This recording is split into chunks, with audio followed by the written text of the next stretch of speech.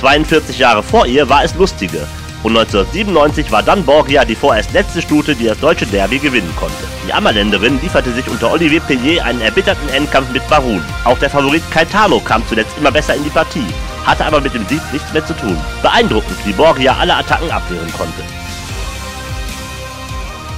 Die Starthelfer spritzen alle zur Seite. Boxen auf, Boxen auf.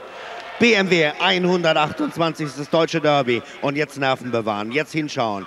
Gleich kommen sie an den Tribünen vorbei. Dann sind sie wieder dran. Jetzt fange ich erstmal an. In der Bahnmitte, da galoppiert an der Spitze mit der Programmnummer 15 Yorkshire. Yorkshire geht nach vorne. Yorkshire mit Mojito. Es ist nicht schnell. Es ist nicht allzu schnell. Yorkshire, Mojito, Happy Change. An der Außenseite Caetano. Gleich in guter Position. Sogatais ist dabei. Dann galoppiert an der Innenseite Barun in vorderer Linie. So geht es in den Wandsbecker Bogen hinein. Mojito an der Seite von Yorkshire. Yorkshire außen führt. Der Gast aus England. Yorkshire vor Mojito hat das Kommando. Dahinter ist Happy Change in dritter Position.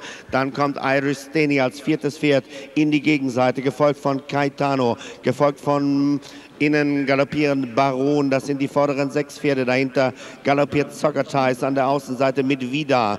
Dann sehe ich die Stute. Dann sehe ich hier Borgia, dahinter ist auch an der Innenseite zu sehen Penalty. In der Gegenseite, Mitte gegenüber sind die Kandidaten und er darf vorne führen. Yorkshire, Yorkshire führt mit Richard Quinn im Sattel, Yorkshire führt, dahinter ist jetzt Happy Change vor Mojito, dann in vierter Position an der Außenseite in einer idealen Position Caetano vor Irish Staney an der Innenseite, dahinter sechster Barun, dann folgen wieder, dann folgt Sogatais, dann folgt Penalty. Am Schluss des Feldes wartet Kevin Woodburn, der Fuchs mit Abu Lahab auf seine Chance. Und das Feld biegt in den Horner Bogen ein. Ein tolles Bild hier auf dem Monitor.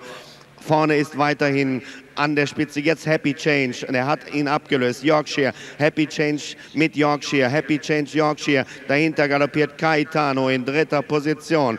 Dahinter kommt dann an der Außenseite Safarabat deutlich mit nach vorne. Und jetzt geht es in den Einlauf hinein. Die letzten 500 Meter. Haltet mich fest, Freunde. Happy Change ist an der Spitze. Happy Change. Caetano. Was macht er jetzt? Kommt er? Kommt er nicht? Happy Change ist vorne. Happy Change übernimmt die Spitze. Caetano versucht es. Happy Change mit Caetano. Gaetano, der greift an und außen kommt Baron. Baron ist jetzt vorne.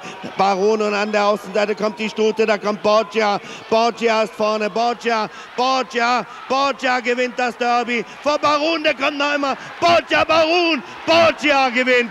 Borgia gewinnt vor Baron dahinter. Happy Change, Caetano war Vierter, dann Safarabat. Dahinter, Mensch, da war Baleno war dabei und Penalty und wieder und so weiter und so fort. Also Borgia, ihr habt es ja alle gewusst, dass die Stute gewinnt. Ich nicht.